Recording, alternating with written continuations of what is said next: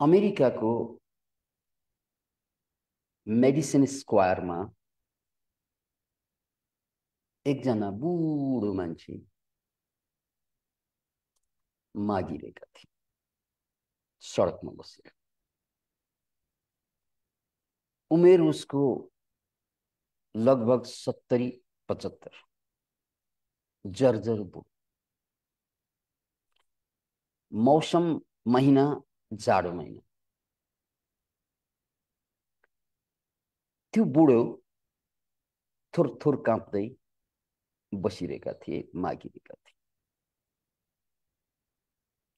र त्यहीँबाट संयोगवश त्यही इलाकाको सबभन्दा धनी मान्छे हिँडिरहेका त्यो हिँड्ने मान्छे पनि बुढै उसको उमेर पनि लगभग सत्तरी पचहत्तर। त्यसकारण त्यो बुढोको आँखा अर्को आफू जस्तै भिख माग्ने बुढोमा पर्नु स्वाभाविक यिनी परे सबभन्दा धनी मान्छे त्यो एरियाको। अनि भिख मङ्गा सबभन्दा गरिब मान्छे त्यही एरियाको भिख मङ्गा त जताततै देखिन्छ त्यो ठुलो कुरा भएन। तर आफ्नै उमेरको भिख यानि भिखारी। त्यो पनि थुरथुर काँपिरहेको अवस्था। बुढोले आफ्नो आँखा कुदाए तलदेखि माथिसम्म माथिदेखि तलसम्म भिखारीको आङमा गतिलो कपडा धरी थिएन।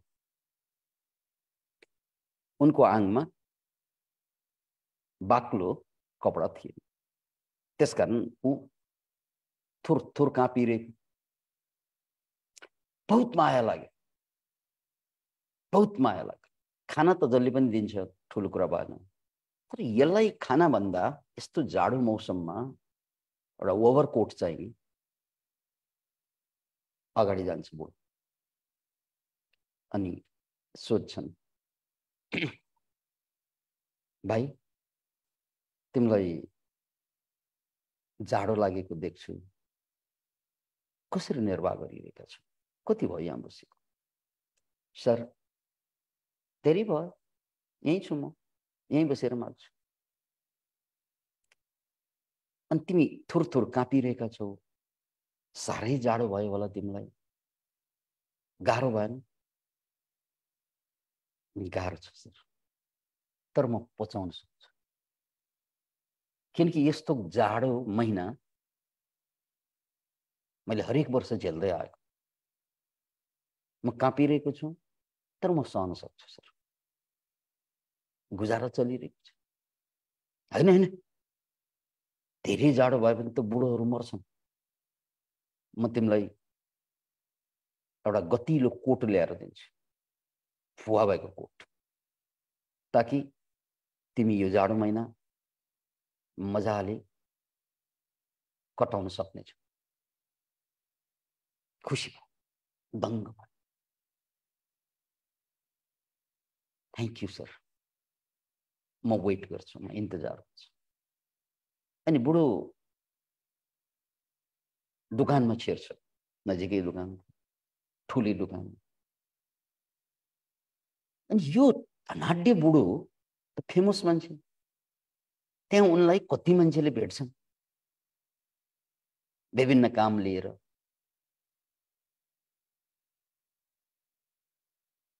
दोकानभित्र छिरेपछि धेरै मान्छेले घेरेपछि ती मान्छेहरूलाई जवाफ दिँदै गर्दा ऊ किन यहाँ छिरेको बिर्स हुन्छ त्यही किनकि माइन्डले एकचोटिमा एउटै कुरा मात्र सम्झन सक्छ फेरि। माइन्डको एउटा समस्या के छ? उसले एउटा कुरामा ध्यान दियो भने अर्को कुरा ठ्याक्कै छुट्याइदिन्छ त्यसकारण एउटा धर्म बोक्यो भने अर्को धर्मबाट फाइदै लिन्छ। एउटा राजनीति बोक्यो भने अर्को राजनीतिबाट फाइदै लिन्छ। एउटा सिद्धान्त बोक्यो भने अर्को सिद्धान्तबाट फाइदै लिन्छ। यो त पोजिटिभ कुरा भयो। अब नेगेटिभ कुरामा जाँदा नेगेटिभ कुरामा ध्यान गयो भने पोजिटिभ कुरा त्यही मान्छेको पनि देख्दैन। त्यही ठाउँको देख्दैन त्यही मान्छेको देख्दैन त्यही गाउँको देख्दैन। ब्रेनको कामै के हो? एक पटकमा उसले एउटा मात्रै देख्छ त्यस कारण दुखी मान्छेहरू किन दुखी छन् थाहा छ? किनकि उसले एकै ठाउँ मात्र हेरिरहेको छ। उसले जहाँ हेरिरहेको छ दुखाउने ठाउँमा मात्रै उसको फिक्स छ माइन्ड त्यो पीडित मान्छे किन पीडित छ? किनकि उसको ध्यान जम्मै जहाँबाट पीडा आउँछ त्यहाँभन्दा दायाँ बायाँ ध्यानै जाँदैन। अनि त्यसैमा कथा बुनेर बसेको हुन्छ। उस त्यसकारण ऊ पीडित हुन्छ। त्यसकारण जहाँ पीडा छ त्यहाँ अवसर पनि हुन्छ। जहाँ दुःख छ त्यहाँ सुख पनि हुन्छ। तर यो कमबख्त दिमाग यस्तो छ एउटामा फिक्स भयो भने अर्कोमा मरि नै जाँदैन बिहे गरे जस्तै गर्दैछ।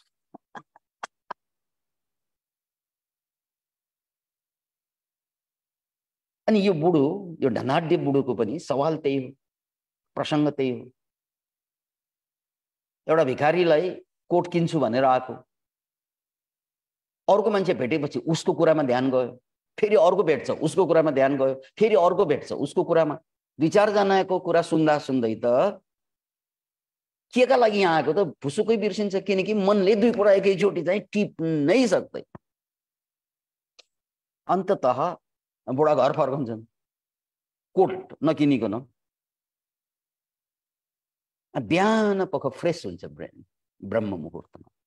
चार बजेतिर बुढोको आँखा खुल्छ यो ढानाडीको जब बिहानी पख आँखा खुल्छ नि ब्रेन सबभन्दा बढी पावरफुल हुने टाइम बिहान हो त्यस कारण यसलाई ब्रह्म मुहुर्त भनिन्छ यो लाइफमा सबभन्दा बढी काम लाग्ने तपाईँलाई काम लाग्ने पर्सनल टाइम भनेको बिहान चार बजेदेखि सुरु हुन्छ छ बजे सात बजेसम्म तन्काउने त्यो टाइम प्राइम टाइम भन्छ लाइफको त्यो टाइममा जसले आफूलाई बनाउँछ जे कुरा सिक्छ त्यो दिगो रहन्छ र त्यो टाइम छुट्यो भने फेरि अरू टाइममा सिक्नै सक्दैन। अरू टाइममा दिमाग डल हुँदै जान्छ। किन? भने सात आठ बजेपछि दिमागमा बिस्तार बिस्तारै स्ट्रेस हर्मोन चढ्दै जान्छ बढ्दै जान्छ। अनि स्ट्रेस हर्मोन बढ्दै गएपछि दिमाग कन्सन्ट्रेसन गर्न एक ठाउँमा केन्द्रित गर्न बहुत गाह्रो हुँदै जान्छ। अनि बाह्र बजेपछि दुई बजेसम्म त शिखरमा पुग्छ त्यो।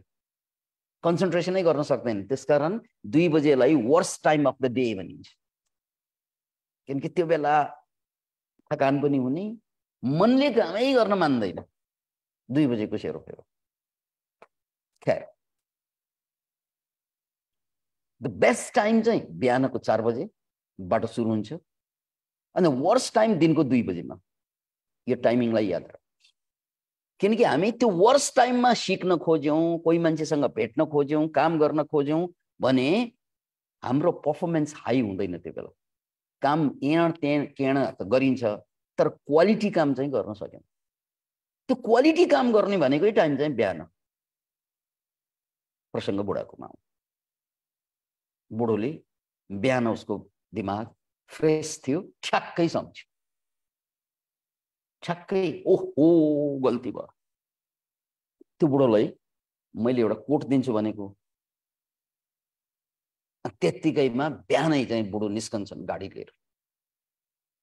मेडिसिन स्क्वायर पुग्छन्।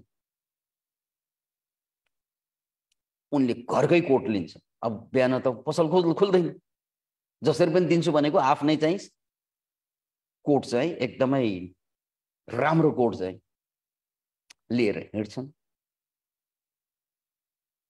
अनि जहाँ भिखारी थिए त्यो कुकुर जस्तै गुटमुटको पारेर गुजुक्क परेर पल्टिरहेको देखे टाढैबाट।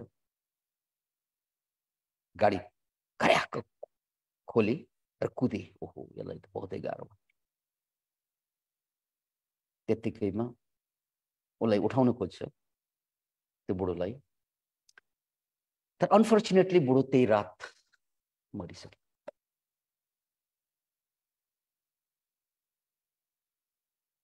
He is no more. The old man is no more. छैन बहुत चोट लाग्छ उसलाई ओहो कोट्छ हामी साह्रै पीडित भएर सरी आम रियली सरी भन्दै फनक्क फर्कन खोज्दा उसको ध्यान बुढोको ध्यान हातमा पर्छ मरेको बुढो हातमा एउटा कागज थियो कागजमा हेर्छ केही लेखेको रहेछ त्यो बुढोले मर्न अगाडि के लेखेको भने सर म हजुरको कोटलाई कुर्दैछु। मलाई बहुत गाह्रो हुँदैछ। यो कोट बिना धेरै वर्ष चलाएँ मैले। म शक्तिशाली थिएँ। तर हिजो हजुरले मलाई कोट ल्याइदिन्छु भन्ने आशा भिडाउनु भयो। त्यसपछि म कमजोर भएँ।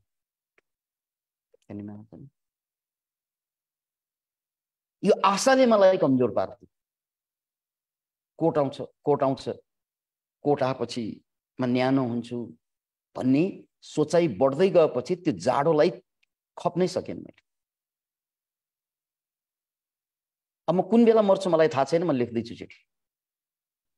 किन मलाई साह्रै गाह्रो भइसक्यो। यसकारण होइन म कमजोर छु। यसकारण कि हजुरले आशा भिडाइदिनु भयो यसकारण म कमजोर। पोइन्ट टु बी नोटेड मान्छे जुन बेलासम्म कसैको आशा गर्दैन ऊभन्दा शक्तिशाली कोही पनि हुँदैन। र जुन बेला तपाईँ कसैको इन्तजारमा पर्नुहुन्छ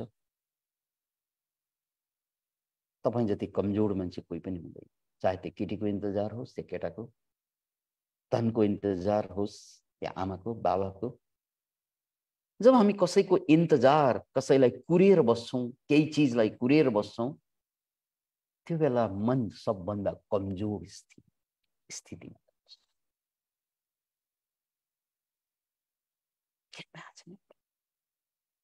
कति आमा बाबा बहुत कमजोर भइदिन्छन् किनकि उसले छोरालाई इन्तजार गरेको केही गर्लान् यो छोरा।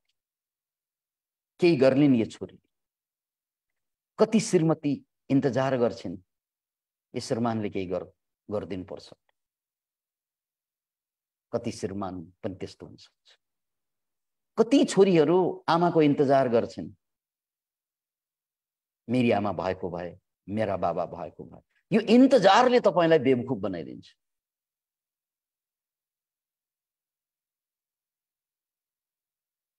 त्यसले ज्यान लिइदिन्छ। त्यसकारण एकजना लेखक जसले के लेखेका थिए भने, संसारमा सबभन्दा बलियो मान्छे त्यो हो। जो एक्लै बाँच्न सक्छ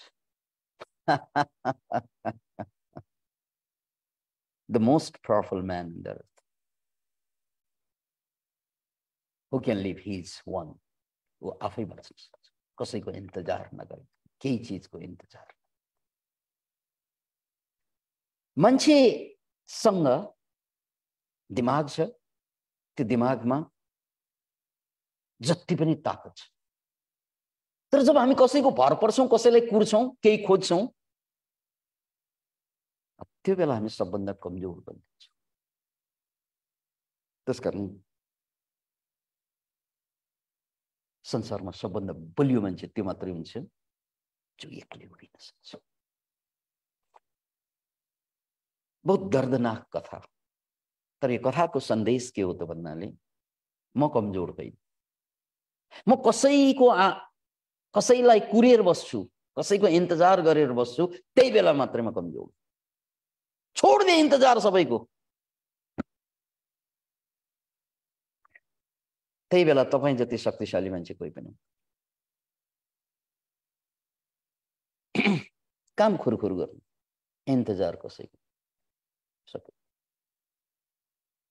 यो यो दर्दनाक कथापछि कतिको आँखाबाट आँसु तुर्क झारिदिन्छ यस्तो कथा अब यसको उल्टो कथातिर आउँ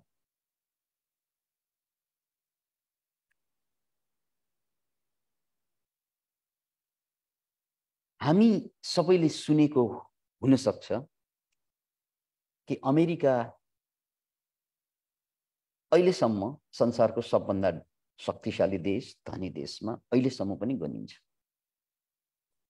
तर अब आउने केही वर्ष पछाडि अमेरिकालाई चाइनाले टप्दैछ। स्ट्याटिस्टिकल्ली चाइना अब संसारको नम्बर वान इकोनोमिक पावर र मिलिटरी पावर पनि हुँदैछ। केही वर्ष। यो प्रष्टै भइसकेको छ। यो प्रमाणितै भइसकेको छ। किनकि चाइनिजहरू अहिले संसारभर छाएका छन्। त्यस कारण चाइनिजहरू संसारको सबभन्दा चलाक मान्छेको रूपमा लिन थालेको छ यो नेपालको कुरा होइन अमेरिकामा त किनकि अमेरिकालाई कसैले चुनौती दिन सक्छ भने अहिले चाइना मात्रै हो अहिले त चुनौती मात्रै दिएको छ। केही दिनमा अमेरिकालाई टप्ने भएको छ। त्यस कारण यसैको सेरोफेरमा धेरै जोकहरू बनेका छन्। त्यसमध्ये एउटा जोक एकजना चाइनिज डक्टर अमेरिकामा स्ट्याबिलिस्ट हुन खोजिरहेका थिए। Chinese doctor. अनि चाइनिज हर्बालिजम चाइनाको जडीबुटी जसरी इन्डियाको आयुर्वेदा त्यस्तै चाइनाको चाइनिज हर्बालिजम पनि संसारको सबभन्दा राम्रो अल्टरनेटिभ मेडिसिन्समा गनिन्छ। चाइनिज सिस्टम जस्तै एक्युपङ्क्चर अहिले संसारभरि कलेजमा पढाउने विषय बनेको छ एक्युपङ्क्चर अमेरिकाको गभर्मेन्टले मान्यता दिएको छ। यस्ता थुप्रै कुराहरू छन् चाइनाको। त्यसमध्ये एउटा प्रसङ्ग एकजना डक्टर एकजना चाइनिज डक्टर। त्यसको कथा हो। अद्भुत कथा छ। अद्भुत कथा। साह्रै चलाक डक्टर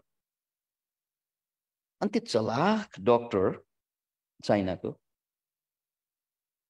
उनले इस्टाब्लिस गर्नलाई एउटा प्रचारबाजी के गरियो त भने मका आउनुहोस् यदि तपाईँलाई मैले निको पार्न सकिनँ भने म पैसा फिर्ता दिन्छु अनि पैसा फिर्ता पनि तपाईँले मलाई बिस डलर तिर्ने हो म सय डलर दिन्छु। मान्छे तान्नलाई नयाँ नयाँ। किनकि त्यत्तिकै मान्छे तान्न सकिँदैन। केही न केही त गर्नुपर्ने हुन्छ त्यसकारण मान्छे तान्नको लागि प्रचारबाजी त्यही गर्यो। अनि अमेरिकनहरू पनि कम्ता त चलाक होइन। त्यो चलाकै भएर अमेरिका अमेरिका भएको। त्यसकारण अमेरिकन एकजना वकिल त्यो त झनै चलाक हुने भयो। यसरी साइनबोर्डमा लेखिएको कुरा पढ्छ। ओहो। यसलाई त म ठगिहाल्छु। गएर डाक्टर साहब मेरो जिब्रोको स्वाद गर। यो स्वाद फर्काइदिनु पर्यो। भनेर भनेछ। अनि चाइनिज डक्टरले जाँचेछन् जिब्रो सिब्रो जाँचे। ल ठिक छ। म फर्काइदिन्छु। ठिक छ। मेचमा पस्यो नर्स त्यो चौध नम्बरको बाक्साबाट औषधि झिक्नु त। तिन ठोपा हालिदिए पुग्छ।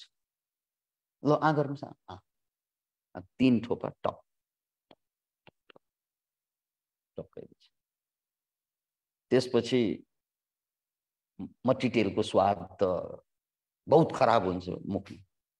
छि छि छि छि। औषधि भनेर चाहिँ मट्टिटेल दिने। कस्तो डक्टर तपाईँ चाहिन्छ तपाईँको स्वाद फर्क्यो कि फर्केन। तपाईँलाई स्वादै आउँदैन भनेको स्वाद त आयो नि। हौ मट्टितेलकै सही स्वादको आयो। लौ बिस डलर सिक्नुहोस्। आखिर बिस डलर दिनै पर्यो। चाइनिज न हो। त्यसको एक महिनापछि उसले सोच्दै ओहो यसले मलाई ठगिहाल्यो आखिर। मैले ठग्छु भनेको उसले। अब अर्को बाहना बनाउनु पर्यो। के बाहना बनाऊ? सोच्दै सोच्दै एउटा आइडिया फुर्यो र केही दिनपछि डाक्टर साहब मेरो मेमोरी गयो। म हिजो के गरेकै थाहा छैन मलाई। थाहा हुँदैन। केही यादै हुँदैन। लौ न मेरो मेमोरी फर्काइदिनु पर्यो। बस्नुहोस् बस्नुहोस्। नर्स त्यो चौध नम्बर बाकसबाट औषधि झिक्नु भन्छ। अनि अँ फेरि टप टप गर्दा फेरि त्यही मट्टी दिए एकछिन छिछिन यो त अस्तिकै म तेल हाल्ने औषधि भन्ने हे मेमोरी फर्कियो फर्कियो ल्याउ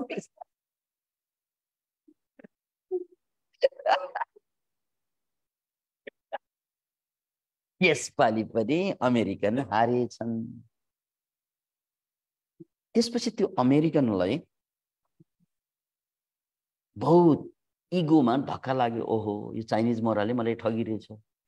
यसलाई म नठगी कहाँ छोड्छु र?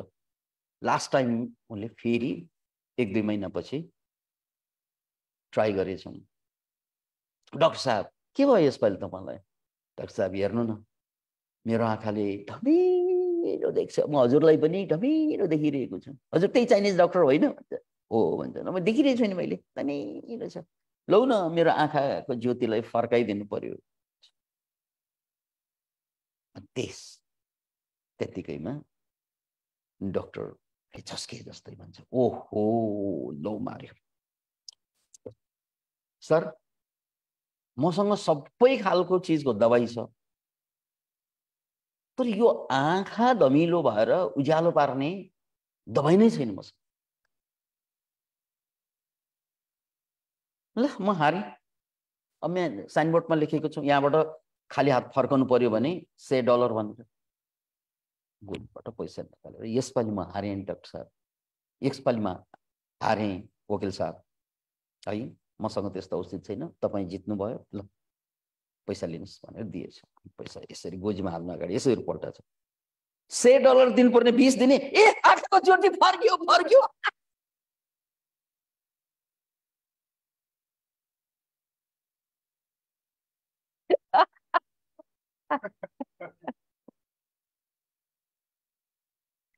यसलाई भनिन्छ उपाय कुशलता यानि मान्छेले दिमाग चलाउने हो भने यो समस्या जस्तो आउँछ नि कर तपाईँलाई ठग्न आउँछ लुट्न आउँछ पीडा दिन आउँछ त्यो सबै समस्याको पनि हामीले फाइदा उठाउन सक्छौँ। तर दिमाग चलाउन सक्नुपर्छ। ए दिमाग चलेन भने सक्यो सबै कुरा। दिमाग भनेकै चलाउनको लागि। त्यसकारण मैले धेरैपल्ट यहाँहरूलाई निवेदन गरेको कुरा हरेक कुरालाई सोच्न सिक्नुपर्छ। क्वेसन गर्न सिक्नुपर्छ। समाधान खोज्ने होइन। त्यसको फाइदा खोज्ने हो। त्यो समस्यालाई सेल कसरी गर्न सकिन्छ? त्यो समस्याबाट कसरी फाइदा लिन सकिन्छ सोच्ने हो भने यो दिमागले हामीलाई जवाफ किनकि दिमाग कम्प्युटर जस्तै। मैले धेरैपल्ट भने एउटा उदाहरण के छ? अहिले गुगलमा तपाईँले एउटा प्रश्न गर्नुहोस् कफी खानुको बेफाइदा के हो भनेर टाइप गर्नुभयो भने? गुगलले पचासौँवटा साइट दिन्छ कफी खानुको बेफाइदा लेखेको साइटहरू। अब यसको मतलब त कफी खानुको त बेफाइदै बेफाइदा जस्तो देखिन्छ। तर अब प्रश्नलाई पल्टाइदिनुहोस् तपाईँ। कफी खानुको के के फाइदा भनेर टाइप गर्नुहोस्। पचासौँवटा चाहिँ साइट देखाउँछ कफी खानुको फाइदा अब गुगल त गुगलै हो। गुगलले तपाईँलाई कफी खाँदा फाइदा हुन्छ कि बेफाइदा हुन्छ भन्दैन कि? तपाईँले जे प्रश्न गर्छ त्यसको जवाफ। फेरि गुगललाई टाइप गर्नुहोस्। कसरी शानदारसँग बाँच्न सकिन्छ? त पर्फेक्ट लाइफ कसरी बनाउन सकिन्छ टाइप गर्नुहोस्। यही कुरा तपाईँले च्याट जिपिटीमा पनि सोध्न सक्नुहुन्छ। कसरी द बेस्ट लाइफ बनाउन सकिन्छ भनेर टाइप गर्नुहोस् अनि गुगलमा बेस्ट लाइफको चाहिँ टिप्सहरू आउँछ। अब त्यही गुगलमा हाउ टु कमिट सुसाइड भनेर टाइप गर्नुहोस् त। अब त्यसमा पनि उसले जवाब दिन्छ। साइट देखाउँछ। भनाइको मतलब गुगलमा सबै कुरा हुन्छ। अनि उसले तपाईँलाई के जवाफ दिन्छ भन्ने कुरा तपाईँले के प्रश्न गर्नुहुन्छ त्यसमा निर्भर हुन्छ। गुगल जस्तै ब्रेन पनि त्यही हो। तपाईँको ब्रेनलेलाई तपाईँले के प्रश्न भिडाउनुहुन्छ त्यो अनुसार उसले एन्सर दिन्छ ब्रेन नेपालकै कुरा गर्दा महिनाको पचास हजार कसरी कमाउने भनेर प्रश्न गर्नुहोस् ब्रेनलाई। मस्तिष्कलाई प्रश्न गर्नुहोस् म नेपाल बसी बसी महिनाको पचास हजार कसरी कमाउन सक्छु भनेर सोच्नुहोस् आइडियाजहरू फुल्दै जान्छ। किनकि महिनाको पचास हजार कसले कमाइरहेको छ कुन कुन जागिरमा पचास हजार आउँछ त्यो खोज्छ ब्रेनले। ए जस्तै अब ब्याङ्क सेक्टरमा गयो भने चालिस पचास हजार जागिर आउलान् अर्को पनि सेक्टर होलान् त्यो खोज्दै जान्छ ब्रेनले किनकि तपाईँले पचास हजार खोज्नु भएको। अब ब्रेनलाई तपाईँले भन्नुहोस् होइन मलाई चाहिँ महिनाको पाँच लाखभन्दा कम त्यो त चल्दैन। नेपालमा बसी पाँच लाख महिनाको कसरी कमाउने भनेर मस्तिष्कलाई सोच्नुहोस्। एकपल्ट सोच सोच सोचेर पुगेन बार बार सोच्नु पर्यो। त्यो सोध्नु भयो भने अनि मस्तिष्कले तपाईँलाई खोज्न लाउँछ। कसले कमाउँदो रहेछ पाँच लाख? कसरी कमाउँदो रहेछ? त्यो रिसर्च गर्ने हो भने नेपालमा पाँच लाख कमाउने पनि थुप्रै छन् दस लाख कमाउने छन् बिस लाख कमाउने छन् जस्तै ब्याङ्कका सिओहरूले चाहिँ धेरै कमाइरहेका हुन्छन्। त्यस्ता थुप्रै व्यापार छन्। ठ्याक्कै ठ्याक्कै ठ्याक्कै ठ्याक्कै तपाईँलाई त्यो खोज्दै गएपछि पत्ता लाग्दैन। तर प्रश्न चाहिँ गर्नु पर्यो। प्रश्न गर्नु पर्यो अनि त्यसपछि खोज गर्नु पर्यो। दुई कुरा छ त्यहाँ। प्रश्न मात्रै गरेर हुँदैन फेरि। प्रश्न गर्नु पर्यो अनि त्यसपछि खोज गर्नु प्रश्न गर्ने र खोज गर्ने।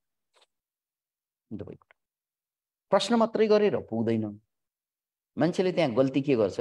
प्रश्न त मैले पनि गरेको हुँ कहाँ पैसा आउँछ र? प्रश्न मात्रै गरेर त पैसा आउँदैन। प्रश्नले के गराउँछ? खोज गर्न बाध्य पार्छ। अनि त्यो खोज गरिसकेपछि अनि बल्ल गएर त्यो खोजको परिणाम स्वरूप बिस्तारै रिजल्ट आउनु थाल्छ। प्रोसेस त लाग्छ यसमा। त्यसकारण यो लामो प्रोसेसमा नगइकन चाहिँ अगाडि जे छ त्यही गरिदिन्छन् मान्छेले। किनकि ऊ लामो प्रोसेसमा जान चाहँदैन।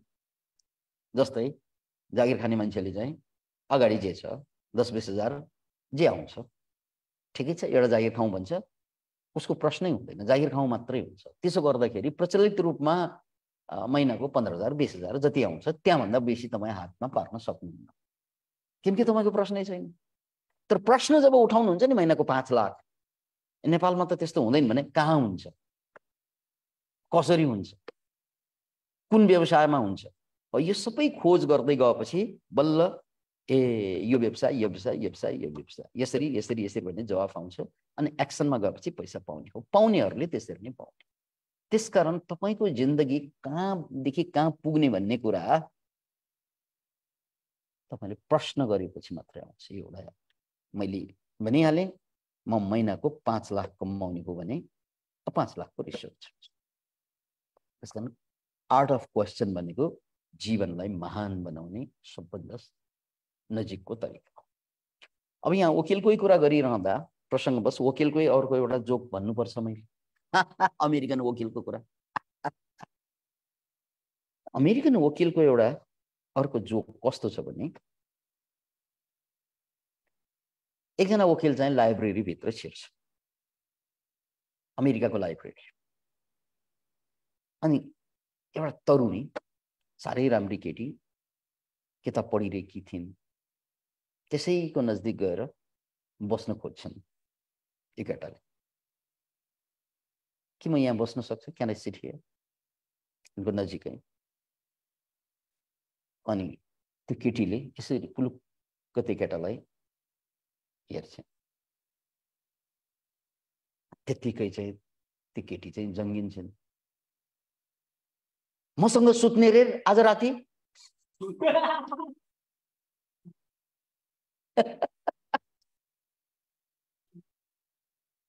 असम्भव। त्यो केटी चिच्याएपछि त्यहाँ लाइब्रेरीमा त सबै चुपचाप पढिरहेका सबैले हेर्न थाल्छन्। त्यो केटालाई। त्यो केटाको हालत के भयो त्यो वकिल साहब? साह्रै गाह्रो हो त्यो वकिल साहब। साह्रै गाह्रो। त्यसपछि त्यहाँबाट जुरुक्क उठेर जानै पर्छ त्यहाँ बस्नु मिलेन। अर्को म्याचमा बसेर चक्र्याउन थाल्छ। त्यतिकैमा त्यो केटी जुरुक्क उठेर आएर त्यो केटाको कानमा खुसुक के भन्छन् भन्नाले सर म साइकोलोजीको विद्यार्थी अहिले तपाईँले यो केटीले मलाई बेइजत गरिन् यसलाई मैले कसरी बदला लिने भनेर सोचिरहनु भएको छ? म मनको कुरा थाहा पाउँछु किनकि म त साइकोलोजिस्ट हो कि होइन? भनेर सोध्छन् त्यो केटीले। त्यसपछि त्यो केटा जुरुक्क उठ्छन्। एक रातको लागि एक हजार डलर तिर्न सक्दैन त्यत्रोमा पैसा।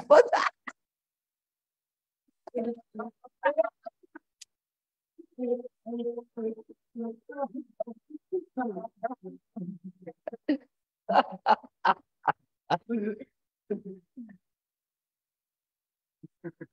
कुरा सुन्न साथ अब त्यो केटीलाई कति गाह्रो भयो?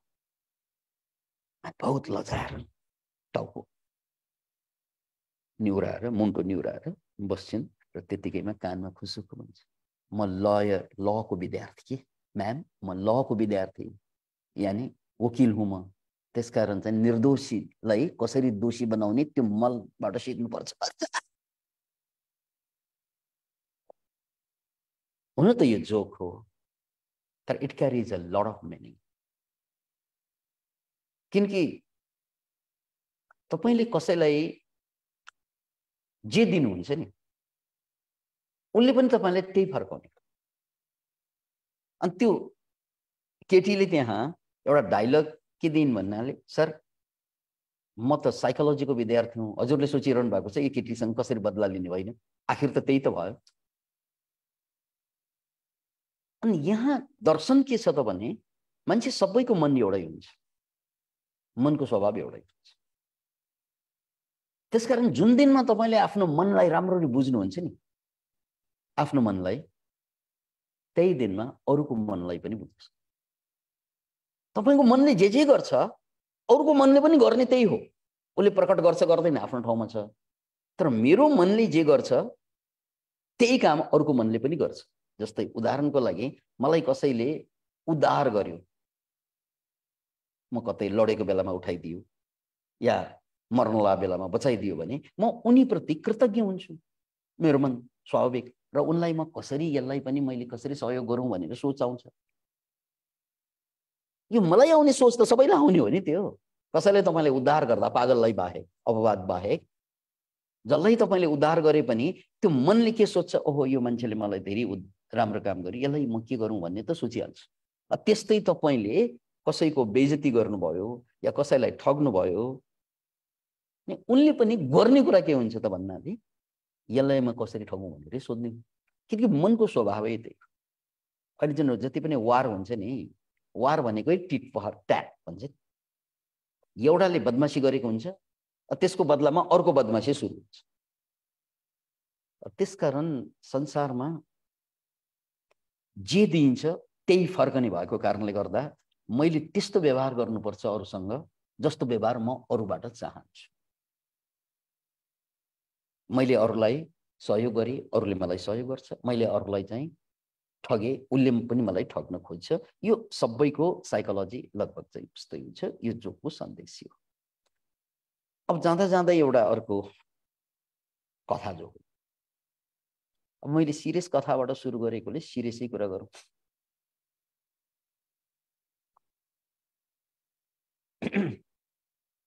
एउटा मान्छेको धनाढ्य मान्छेको डुङ्गा मर्मत गर्नु परेको थियो धनी मान्छेहरूको समुद्रमा किनारमा घर हुन्छन् र उनीहरूले प्राइभेट डुङ्गा चाहिँ बनाएका हुन्छन्। अनि अलि पुरानो जमानाको अहिले जस्तो स्टिम बोट होइन यो। हातैले चलाउने बोट हो। अनि त्यो डुङ्गा पुरानो परेको छ। अनि त्यो डुङ्गामा एउटा पाल पनि परिसकेको छ। पाल परेको डुङ्गा त पानीमा चाहिँ जान मिल्दैन। त्यसपछि त्यो मालिकले एकजना पेन्टर कहाँ गएर पेन्टरलाई बोलाएर ल्याएर ल मेरो डुङ्गामा चाहिँ मजाले चाहिँ यसलाई नयाँ बनाइदिनु। यानि कलर गरेर नयाँ बनाइदिनु भनेछन् निर्धारित पैसा दिन्छन्। त्यसपछि त्यो मान्छेले कलर बनाइदिन्छ। यदि नयाँ ढुङ्गालाई चाहिँ ब्रान्ड न्यू जस्तो बनाइदिन्छ। अनि त्यही दिनमा उनी त अफिस गए ढुङ्गा नयाँ बन्यो।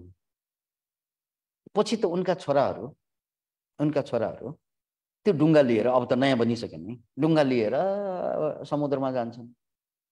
यो कुरा उनलाई थाहा हुन्छ।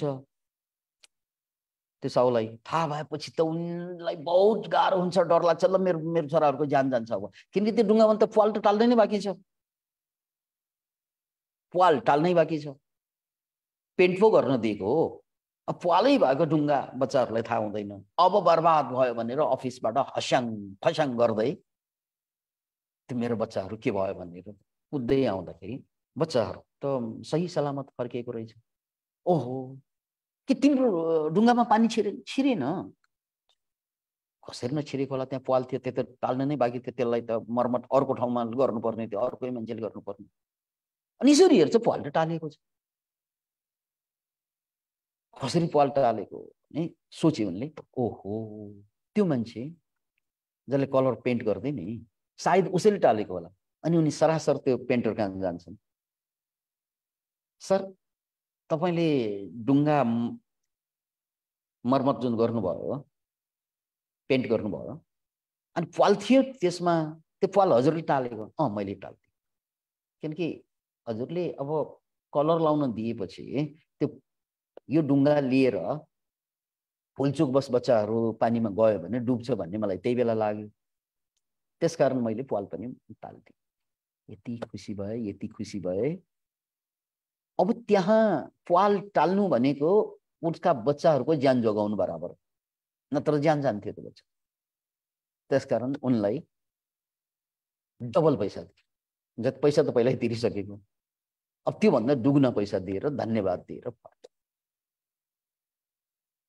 अनि यो कथाको सन्देश के हो त भने जस्ट लिटल मोर भन्ने एउटा मोटिभेसनल ट्रेनिङमा डायलग छ।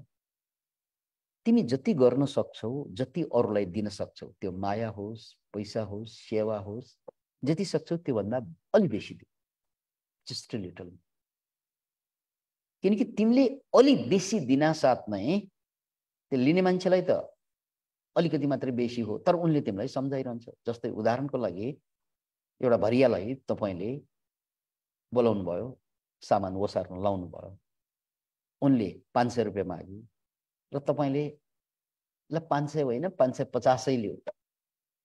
भनेर दिनुभयो भने त्यो भरियालको लागि त पाँच सय रुपियाँ त उसको ज्याला भयो तर पचास रुपियाँ त थपेको हो त्यो त धेरै पैसा होइन। तर उसले तपाईँलाई जहिले पनि सम्झिरहन्छ। अरू सबैलाई बिर्सेलान् तर मलाई खना साउले चाहिँ पचास रुपियाँ बढी दिएको भनेर उसले सम्झिरहन्छ र अरू समयमा जब तपाईँलाई काम पर्छ त्यसबाट काम लिनु बहुत सजिलो त्यसकारण जसलाई जे दिनुपर्ने हो यो संसारमा बाँचुन्जेल अलिकति बेसी दिनु। किनकि तिमीले अलिकति बेसी दिनुबाट नै तिमीलाई चाहिँ त्योभन्दा बेसी फर्कने हो यो प्रकृतिको नियमै त्यही तर दुनियाँमा चाहिँ अधिकांश मान्छेहरू अधिकांश मान्छेहरूले उल्टो गर्छन्। हामी के गर्छौँ भन्नाले अलिक कम दिन्छौँ। भरियाले पाँच सय माग्यो भने चार सय दिनु खोज्छौँ। चार सयले मानेन भने चार सय पचास दिनु खोज्छौँ। त्यो भरिएको पा पचास रुपियाँ खाएर तपाईँलाई के फरक हुन्छ उसलाई पचास रुपियाँमा फरक हुनसक्छ किनकि ऊ गरिब छ। तर तपाईँ मध्यम वर्ग होला या धनी नै होला नि तपाईँले त्यो पचास रुपियाँ उसबाट झिकेर केही पनि फरक जस्तै तरकारी किन्न जानुहोस् एक मुठा तरकारी कति? सय रुपियाँ पनि अचेलको भाउ हुन्छ। तपाईँले त्यसलाई चाहिँ पचास दिन खोज्नुहुन्छ या चाहिँ पचहत्तर दिन खोज्नुहुन्छ या म्याक्सिमम् चाहिँ नब्बे दिन खोज्नुहुन्छ। नब्बे दिएर दस रुपियाँ त तपाईँले बचाउनु भयो तपाईँले बचाएको दस रुपियाँले तपाईँलाई त केही पनि फाइदा हुँदैन। It's a ten rupees for you तर त्यो गरिब मान्छे जसले चाहिँ तरकारी बेचिरहेको हुन्छ उसको लागि त्यो दस रुपियाँ भनेको माइने राख्छ त्यसकारण बाँच्ने तरिका के हो भने जस्ट ए लिटल मोर भन्ने डायलग छ। जसलाई जे दिनु पर्यो भने उसले जति मागेको हुन्छ नि अलिकति बेसी दिनु। घर किन्दा यो गर्नु पर्दैन। घर किन्दा उसले चाहिँ भनौँ पचास लाख भनेको घर या अहिले त पचास लाखमा घर आउँदैन होला। पाँच करोड भनेको घरलाई चाहिँ ल छ करोड दिएँ भन्नु त पर्दैन नि। कार किन्दाखेरि एउटा कारको तपाईँ करोड पऱ्यो भने ल एक करोड दस लाख दिएँ त भन्नु पर्दैन। तरकारी किन्दा चाहिँ त्यो भन्नुपर्छ। तर हामी के गर्छौँ? साग किन्दा बार्गेन गर्छौँ। कार किन्दा चाहिँ बार्गेन गर्न सक्दैन। किन फिक्स प्राइस भनेर राखेको हुन्छ। बार्गेन गर्ने आँटै हुँदैन। त्यसकारण बार्गेनै गर्नु पर्यो भने ठुलो कुरामा बार्गेन गर्नु त ठिकै हुन्छ। घर किन्दा जग्गा किन्दा त्यहाँ त लाख लाख फरक हुन्छ। धेरै ठुलो रकम भयो भने करोड करोड फरक हुन्छ।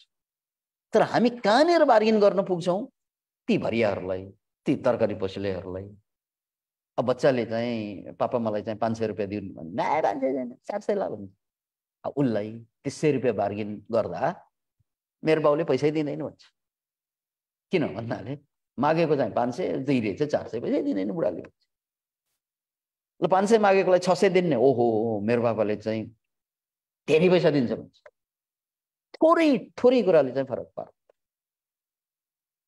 त्यस्तै काम गर्दा पनि कसैको काम गर्दैन कसैलाई सहयोग गर्दा जुन टाइम हामी दिनुपर्ने हुन्छ नि अफिसमा काम गर्दा तपाईँ पाँच घन्टा सात घन्टा काम गर्नुहुन्छ आठ घन्टा गर्नुहुन्छ भने आठको ठाउँमा साढे आठ घन्टा गरिदिनुहोस्। त्यो आधी घन्टा चाहिँ बढी त हो टाइम। तर त्यो आधी घन्टाले तपाईँलाई सबैले सम्झिनुहुन्छ तर स्टाफहरूले के गर्छन्? हाजिर जनाउने टाप ठोकिदिने घन्टी बज्न अगाडि नै टाप ठोक ठोकिदिन्छ जस्ट लिटल लेस होइन अब असफल हुने मान्छेले जहिले पनि जस्ट लिटल लेस सकभर कम दिने अभ्यास गर्छ। सफल हुने मान्छेले यसको उल्टो जस्ट लिटल म अलिकति बेसी दिने गर्दछ। यसरी। थ्याङ्क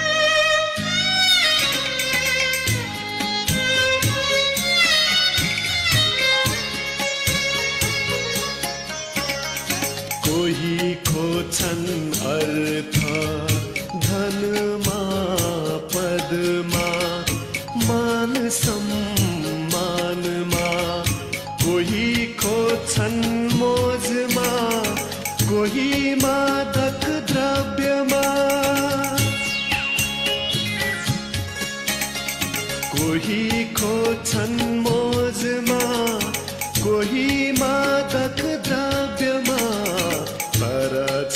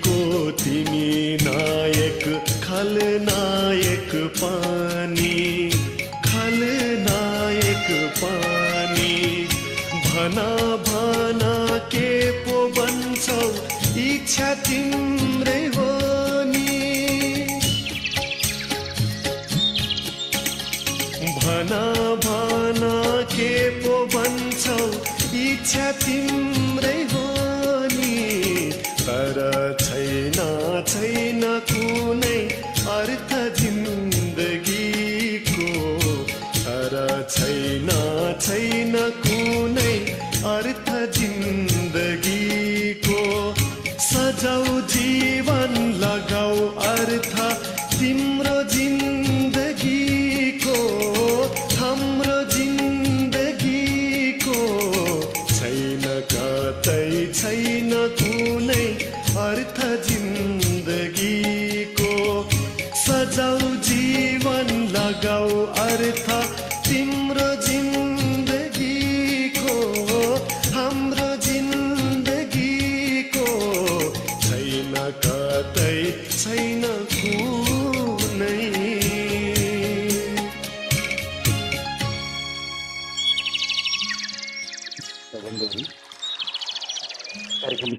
अन्तिम चरणमा म माइक मुकेशलाई दिँदैछु गुरुवर प्रणाम साथै जुम फेसबुक र टिकटक प्लेटफर्मको माध्यमले यस मल्टिभर्सिटीमा सहभागी हुनुभएका सम्पूर्ण विश्व परिवारमा पनि मुकेशको तर्फबाट नमन भन्न चाहन्छु। सबभन्दा पहिले हामीले आएको अमूल्य सहयोगहरू वाचन गर्ने पालोमा गोविन्द पौडेलज्यूबाट अन्नकोश सहयोग स्वरूप रु एक्काइस सय पाँच अर्पण गर्नुभएको छ। गुरुदेव। मुकुन्द रुम- मुकुन्द रिमालज्यू जो हाम्रो रेगुलर डोनर हुनुहुन्छ उहाँबाट मासिक अन्नको सहयोग स्वरूप रु सोह्र सय चौहत्तर जय। सुजन म्याम जो युएसएमा बस्नुहुन्छ उहाँको छोरी सराग्बीको अस्ति मन्सिर अठार गते पढ्न गएको शुभ जन्मदिनको अवसरमा आश्रममा सहयोग स्वरूप रु दस हजार अर्पण गर्नुभएको छ। ओके यसलाई एउटा गीत पनि राख्नु पर्ला है happy birthday to you Shravi छोरी हजुरको फिजिकल मेन्टल स्पिरिचुअल ग्रोथ हुँदै जाओस्। हामी विश्व परिवार कामना गर्छौँ। र साथै केही दिन अगाडि प्रदीप जो कोरियामा हुनुहुन्छ उहाँको बर्थडे अस्ति मात्रै परेको रहेछ। हामी हाम्रो कार्यक्रम पोखरामा चलिरहेको बेला। उहाँको फ़िज़िकल मेन्टल र स्पिरिचुअल ग्रोथ हुँदै जाओस्। यहाँ दुवैको सम्झनामा यो ह्याप्पी बर्थडे गीत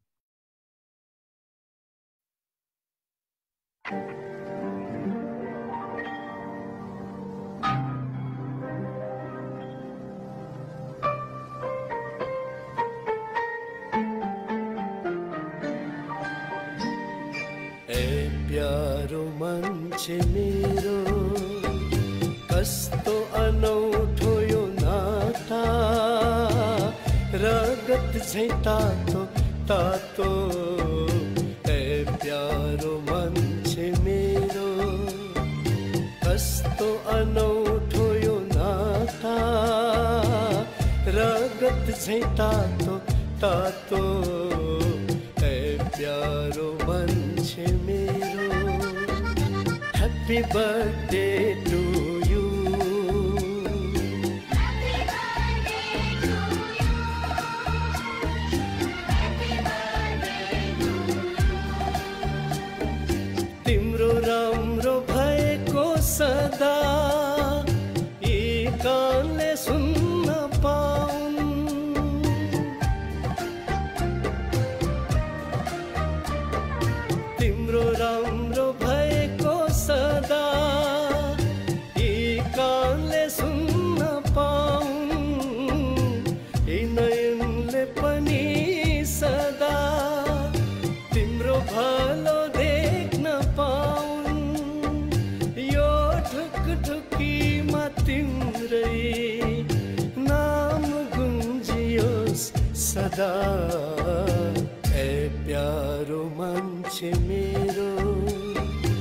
कस्तो अनौठो यो नाता।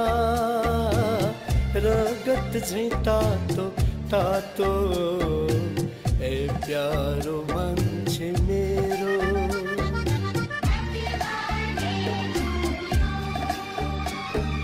Happy birthday to you.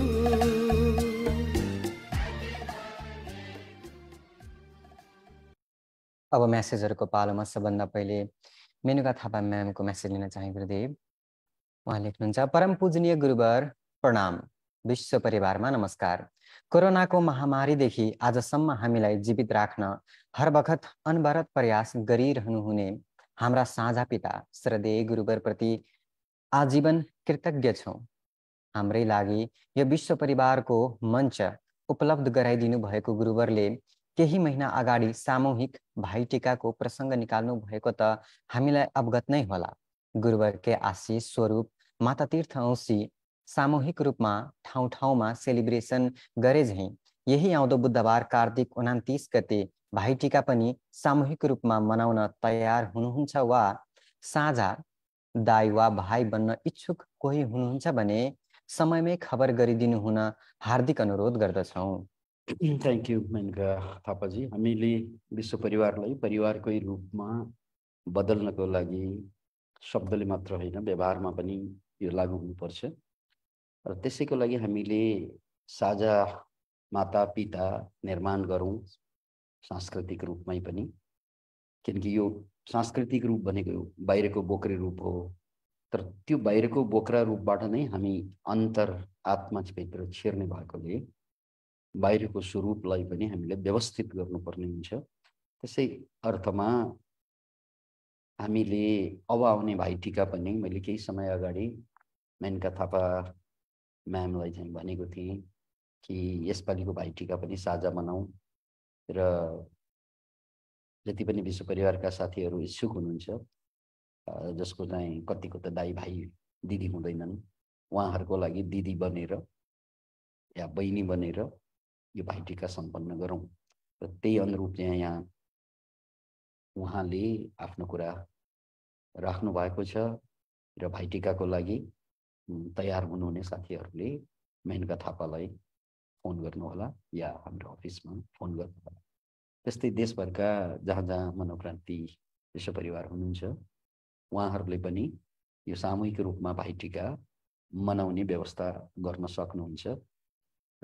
जसका दाइ भाइ दिदी बहिनी छैनन् उनीहरूको लागि हामी दिदी भाइ दाइ बनेर कार्यक्रम सञ्चालन गर्न सकिन्छ। त्यसको लागि व्यवस्था गर्न होला।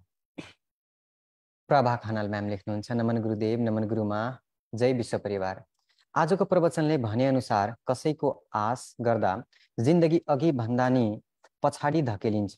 गुरुदेव आज यो प्रवचनले मेरो बालापनको एउटा यस्तो घटनासँग मिलाइदिनु भएको छ।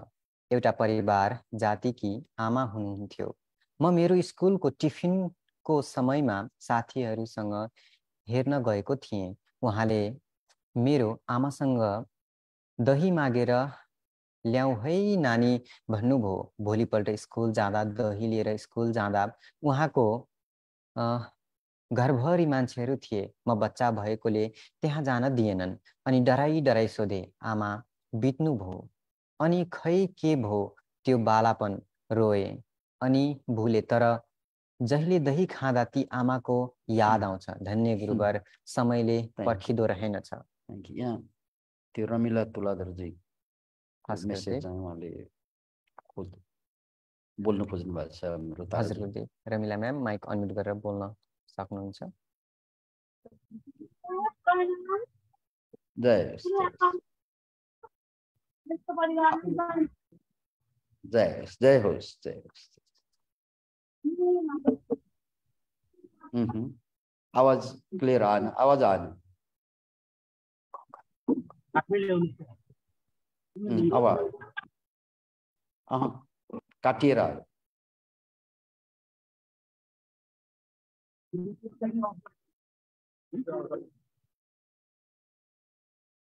आवाज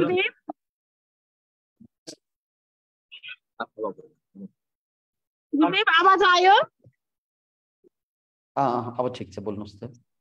गुरुदेव आज हामी हाम्रो काठमाडौँकै अभिभावक विश्वकृष्ण श्रेष्ठ दाई भिनाजु र शोभा श्रेष्ठ दिदीको घरमा छौँ।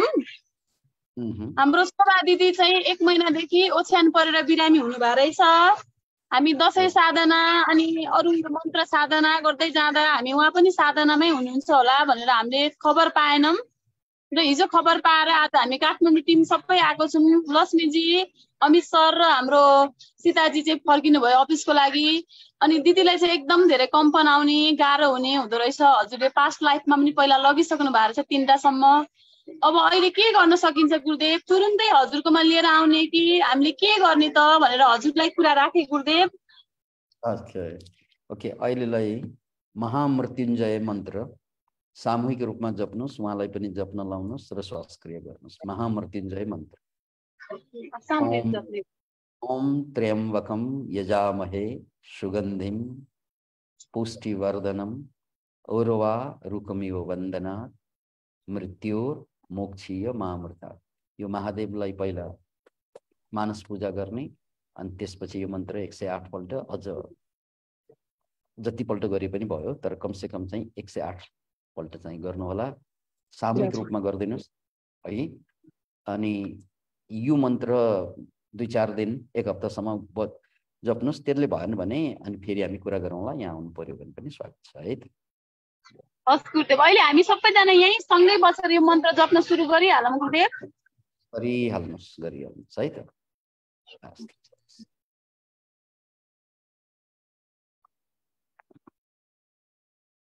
म्यासेजहरूकै क्रममा अर्को म्यासेज लिन चाहे गुरुदेव। मनोज मन्त्र मूर्ति सर लेख्नुहुन्छ। गुरुभर नमन कसैको पिठ्यु पछाडि कुरा काट्यो भने उसले पनि नराम्रो व्यवहार गर्दछ। होइन र गुरुवर? धन्यवाद यो संसारको सबभन्दा मूर्ख मान्छेले मात्रै यही फरक छ कि असफल मान्छेले जहिले पनि अरूको कुरा काट्ने पछाडि पिठ्यौँ पछाडि कुरा काट्छन्। अनि सफल हुने मान्छेको एउटा विशेषता के हुन्छ भने शत्रुकै पनि उसले चाहिँ प्रशंसा गरिरहेको हुन्छ पिठ्यौँ पछाडि। किनकि तपाईँले जे कुरा अरूलाई भन्नुहुन्छ त्यो घुमिफिरी त्यही मान्छेलाई पुग्छ। त्यो सबैले भोगेको कुरा हो फेरि। दैनन्दिनमा मैले कसैको कुरा काटेँ भने पिठ्यौँ पछाडि कसैको आलोचना गरेँ भने मैले भनेको कुरा मलाई मैले जसलाई सुनाएँ नि विश्वास पात्रको रूपमा त्यसले घुमाइ फिराइ त्यहीँ पुऱ्याइदिन्छ पुऱ्याइदिन्छ। अनि त्यसपछि झन् सम्बन्ध बिग्रिन्छ। त्यसकारण यो संसारको कमजोर मान्छे असफल मान्छेले अरूको आलोचना गर्ने कुरा काट्ने गर्छ पिठ पिठ्यौँ पछाडि। तर सफल हुने मान्छेले के गर्छन्? पिठ्यौँ पछाडि चाहिँ प्रशंसा गर्ने गर्छ र त्यो प्रशंसा गरेको पनि घुमाइ फिराइ त्यहीँ पुग्छ। अनि त्यहाँ पुगिसकेपछि त्यो मान्छेको तपाईँप्रतिको दुश्मनी या प्रब्लम छ भने तपाईँको प्रशंसाको कारण त्यो आफै चाहिँ सल्टिन्छ। अकबरे प्रभु सर लेख्नुहुन्छ जय होस् गुरुदेव and all our global family म पनि अरूलाई जति ठग्नै खोज्छु केटिएममा बस चढ्दा खुसुक्क पसेर खुसुक्कै भाडा नतिरी निस्किन्छु। बसमा बसुन्जेल कसरी यहाँबाट भाडा नतिरी फुत्किने भन्ने र आइडिया लगाउँथे? अब यस्तो गर्दिनँ प्रभु।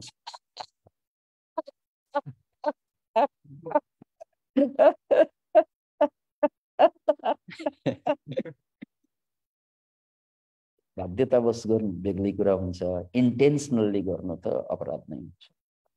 काम चलाउजी लेख्नुहुन्छ नमन गुरुवर गुरुमा टेक्निकल सपोर्ट टिम विश्व परिवारमा अत्यन्तै उपयोगी प्रवचन सबैको जय होस्। सोम प्रसाद सर भारत केरलाबाट लेख्नुहुन्छ नमन गुरुदेव शुभ प्रभात। जय मनक्रान्ति जय गुरुदेव। लाख लाख धन्यवाद गुरुदेव। जय। अनिसा आर्याल म्याम लेख्नुहुन्छ नमन गुरुदेव गुरुमा अनि सम्पूर्ण विश्व परिवारमा पनि नमन। मेरो समस्या यो छ कि निद्रा नलाग्ने यसको उपाय के होला गुरुदेव? व्यायाम पुगेन एक्सर्साइज पुगेन भने निद्रा लाग्दैन। चिन्ता बढी गरे पनि निद्रा लाग्दैन। त्यसकारण चिन्ता हटाउनको लागि यहाँले अहिलेलाई सुत्न अगाडि ओमकार कमसे कम आधी घन्टासम्म ओमकार अरू नसके पनि ओमकार त जप्न सकिन्छ। त्यस कारण आधी घन्टासम्म ओम च्यान्टिङ गर्ने सुत्न अगाडि र बिहान चाहिँ व्यायाम अनिवार्य रूपमा चाहिँ गर्नुहोस्। श्रीष्मा म्याम लेख्नुहुन्छ नमन गुरुदेव। हामी भक्तपुरबाट रेकी सिक्न कहाँ सम्पर्क गर्नु पर्ला र कति शुल्क लाग्ला? भक्तपुरमा रविनानन्दजी हुनुहुन्छ अफिसमा फोन गरेर सोध्नु होला है। यमु भारती म्याम धरानबाट लेख्नुहुन्छ सत सत नमन गुरुदेव गुरुमा चरण स्पर्श ढोक जय मनोक्रान्ति जय विश्व परिवार। गीता उपाध्याय म्याम फेसबुकमा लेख्नुहुन्छ जय गुरुदेव जय गुरुमा विश्व परिवारमा पनि नमन। गुरुदेव मैले बल्ल पानमा सुनेको उखान दुखीलाई दिन्छु नभन्नु। गुरुदेव यो देवनागरीमा नभन्नु। रानीलाई लान्छु नभन्नु। गाह्रो भयो गुरुदेव देवनागरीमा नभएर। उत्तर आज छर्लङ्ग हुने गरी पाए सोध्यो भिखारी हुनुमा के दोष? बट धनीको पश्चाताप जय हो गुरुदेव। कल्पना प्रधान म्याम लेख्नुहुन्छ लेनदेनको व्यापार त हर सेकेन्ड भइरहन्छ यहाँ तर कसलाई थाहा छ र? लिनमा होइन दिनमा फाइदा हुन्छ यहाँ। लिने सपनाको लिने सपनाको उधारोमै रातमा मस्त निदाउँछन् मान्छे। जब बिहान हुन्छ सपना उल्टो भइदिन्छ दिनुमा जिउँदै मर्छ मान्छे। उम्, कतिखेर त लाग्छ नि प्रभु जो जो जोडिएका छन् हजुरसँग। जुन कुनै हावभाव बोलीचालीले देखिन्छ सहजै परिवर्तन भएको छ जिउने ढङ्ग। म स्वयंलाई नै लाग्छ कालो रङ्ग बदलिएर बनेको छ। बैजनी रङ्ग। जेसुकै होस् प्रभु यो कुरा कसैलाई बोक्रा लाग्छ कसैलाई लाग्ने गोदी नै हो। यो भेज नन भेज पनि बुझ्न सके बोक्रा भित्रको अमूल्य गुदी नै हो। हिंसा र अहिंसाको कुरा पनि यही। अरब पटक बुझाइसक्नुभयो हजुरले कुरा त्यही। हजुरले बुझाएको हरेक बुझाइमा डुबेर कसैले सबैमा म बोध गर्न भ्याएका छन्। हजुरकै कुरा चाहिने भन्दा बढी बुझेर आफूलाई मात्र होइन आफूसँग जोडिएकोलाई नि रुवाएका छन्। लेख्दै गर्दा प्रसङ्ग मिश्रित भयो माफी मागे प्रभु। यही आवश्यकता महसुस भइरहन्छ। म लिनेमा होइन दिनेमा लिन रहँ प्रभु। दिनेमा लिन रहूँ। प्रभु। जय जय। जीवन तुलाधर सर लेख्नुहुन्छ शुभ प्रभातम। प्रणाम गुरुवर प्रणाम गुरुमा। ओहो अति नै मनन योग्य प्रवचन मनै छोयो। गुरुवर दुई शब्द। म भुलाइदिन्छु सबै कुरा। छोड्छु म टेन्सन स्ट्रेस। गल्ती गरेको छ भने माफी माग्दछु। गल्ती गरेकोलाई माफी दिन्छु। बिग्रेको सम्बन्ध सुधार गर्छु। मृत्यु नआएसम्म मस्तसँग खुलेर जिउँछु। साथीभाइसँग मिल्छु कुरा गर्छु मस्तसँग। परिवारसँग नाइट आउट गर्छु।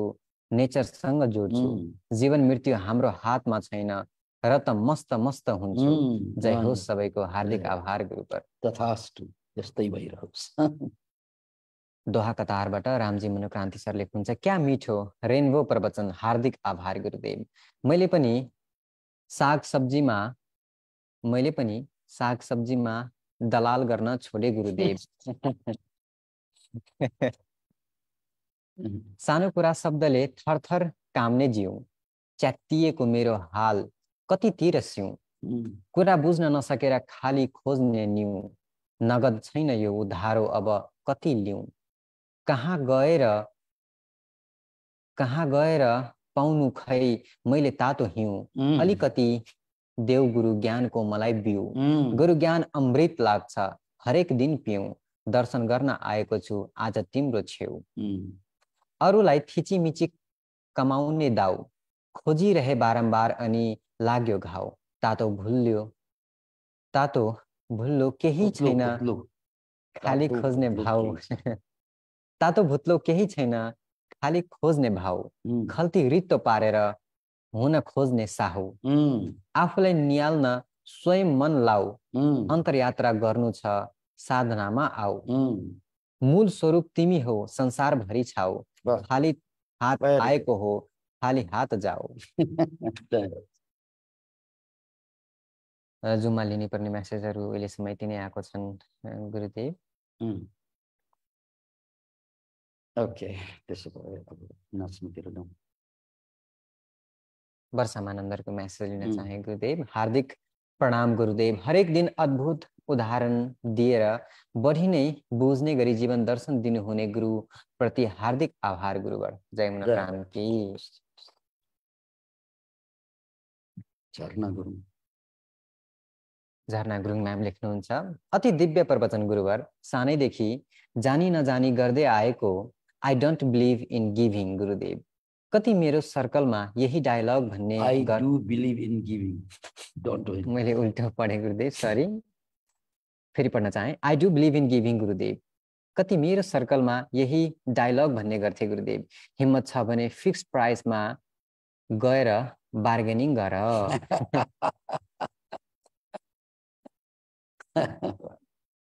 थ्याङ्क यू थ्याङ्क यू कमेन्ट्सहरू फेरि गुरुदेव। अब नाचौँ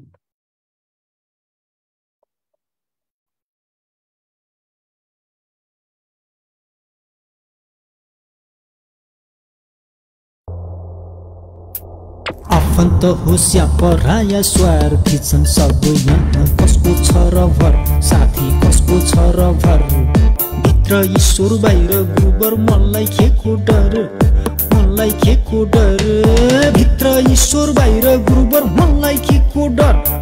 स्वार्थी छन् दुनियाँ सारा कसको छ र भर? साथी कसको छ र भर? भित्र ईश्वर बाहिर गुरुबर मनलाई खेको डर? स्वार्थी छन् दुनियाँ सारा कसको छ र भर? साथी कसको छ र भर?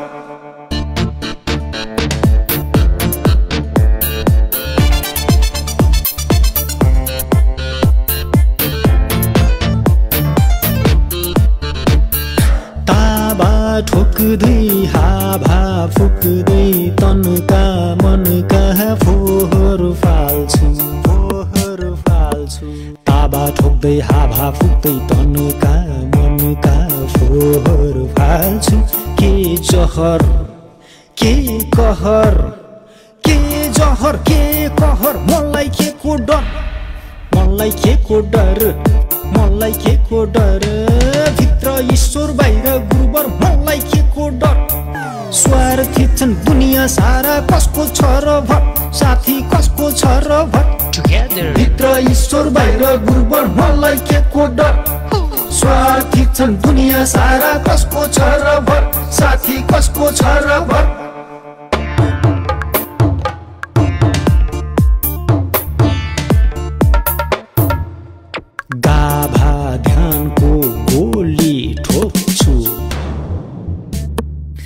समस्यालाई ढाल्दै बढ्छु ढाल्दै बढ्छु। गाभा ध्यानको गोली ठोक्छु समस्यालाई ढाल्दै बढ्छु। के जङ्गल के सहर के जङ्गल के सहर? मलाई के को डर?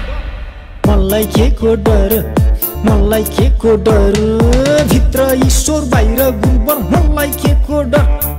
स्वार्थी छन् दुनियाँ सारा कसको छ र भर? साथी कसको छ र भित्र ईश्वर बाहिर गुरुबर मलाई के को डर? स्वार्थी छन् दुनियाँ सारा कसको छ र भर साथी कसको छ र भर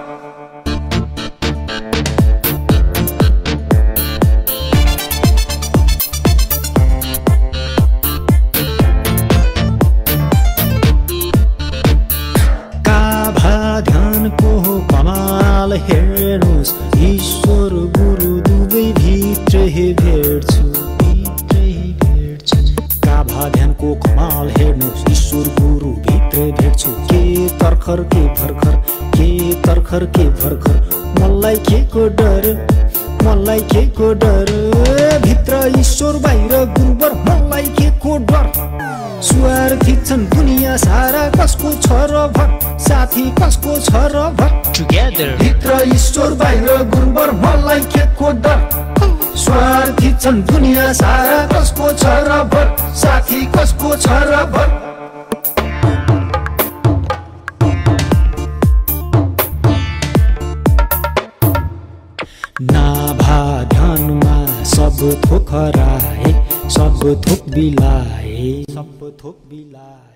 ध्यान ध्यानी ध्येय अहो अहो।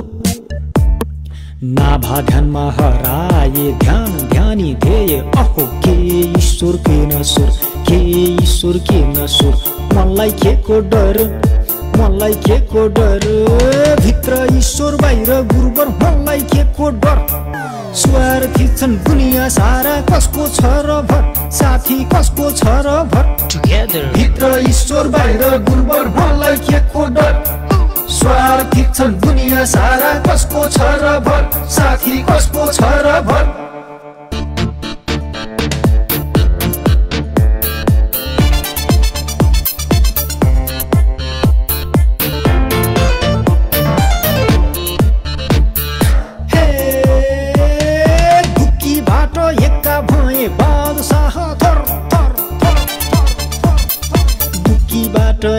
भए बादशाह थर थर के नहर के दहर के नहर के दहर। मलाई के को डर मलाई के को डर मलाई के को डर। भित्र ईश्वर बाहिर गुरुबर मलाई के को डर। स्वार्थी छन् दुनियाँ सारा कसको छ र साथी कसको छ र भर भित्र ईश्वर बाहिर गुरुबर मलाई के को डर। स्वार्थी छन् दुनियाँ सारा कसको छ र भर साथी कसको छ र भर सिङ्गो विश्व मेरै घर मेरै घर मेरै घर। जताततै मित्रवर मित्रवर मित्रवर। सिङ्गो विश्व मेरै घर जताततै मित्रवर जताततै मित्रवर। के युरो के डलर के युरो के डलर मलाई के को डर मलाई के को डर। भित्र ईश्वर बाहिर गुरुबर मलाई के को डर। स्वार्थी छन् दुनियाँ सारा कसको छ र भर? साथी कसको छ र भर? भित्र ईश्वर बाहिर गुरुबर मलाई के को डर। स्वार्थी छन् दुनियाँ सारा कसको छ र भर साथी कसको छ र भर भित्र ईश्वर बाहिर गुरुबर मलाई के को डर? स्वार्थी छन् दुनियाँ सारा कसको छ र भर साथी कसको छ र भर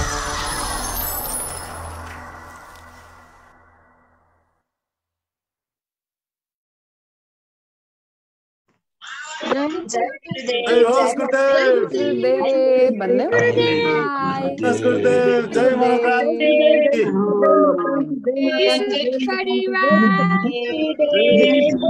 होस् गुरुदेव जय मनोक्रान्ति जय विश्व परिवार जय होस्।